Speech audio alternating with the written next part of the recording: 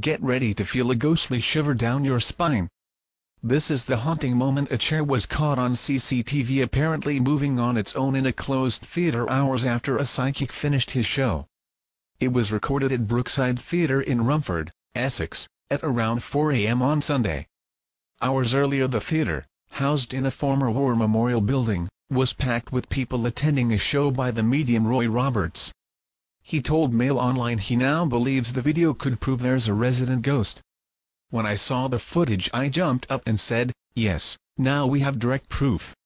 I had a feeling earlier that there was the presence of something, a playful presence of a child, to one side of the room and it seems that must have been it, he said. It doesn't surprise me, it's that sort of a place, it's really active, so when I heard about what had happened I was really excited.